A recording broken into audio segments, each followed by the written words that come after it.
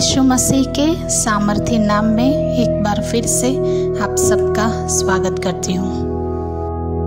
आज की वीडियो में हम दान के विषय में और प्रार्थना के विषय में हमारे प्रभु यीशु ने जो टीचिंग दिया है, वो देखने जा रहे हैं। सो लेट्स गेट स्टार्टेड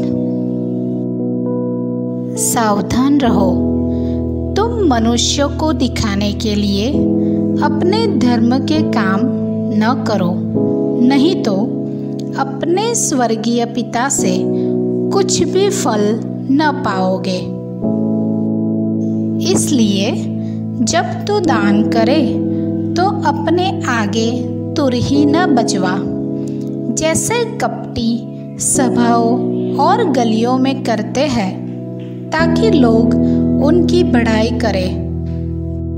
मैं तुमसे सच कहता हूँ कि वे अपना प्रतिफल पा चुके। परंतु जब तू दान करे तो जो तेरा दाहिना हाथ करता है, उसे तेरा बायां हाथ न जानने पाए, ताकि तेरा दान गुप्त रहे और तब तेरा पिता, जो गुप्त में देखता है, तुझे प्रतिफल देगा।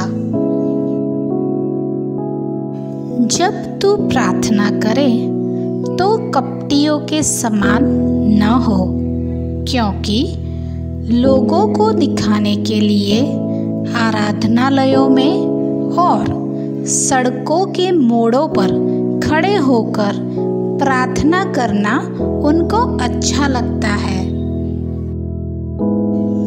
तुमसे सच कहता हूँ कि वे अपना प्रतिफल पा चुके।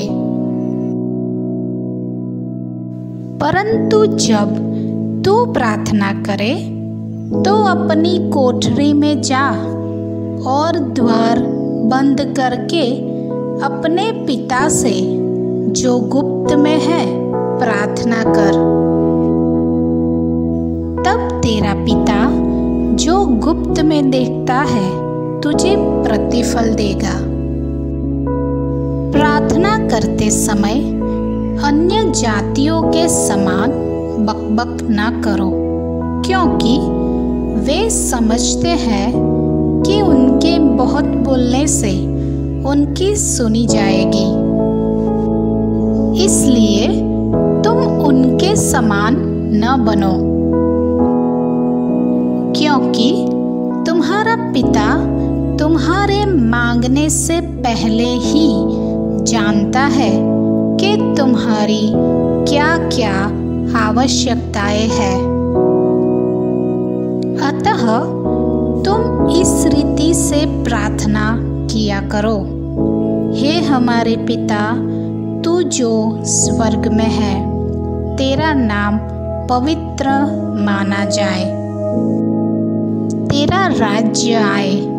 तेरी इच्छा जैसे स्वर्ग में पूरी होती है, वैसे पृथ्वी पर भी हो। हमारी दिन भर की रोटी आज हमें दे।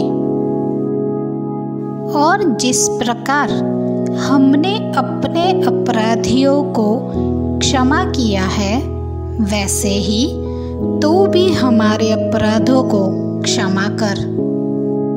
और हमें परीक्षा में न ला।